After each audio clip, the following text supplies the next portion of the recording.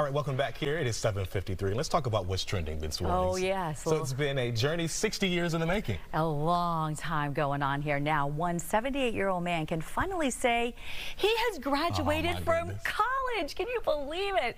John Lewis enrolled at an Ohio community college back in 1963 when the school opened.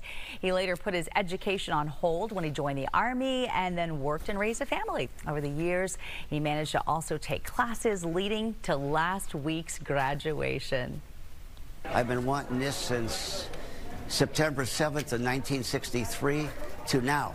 And it's 2023, and I think I've done very well for myself. It was on my bucket list. And once you have something on your bucket list, you, you do it.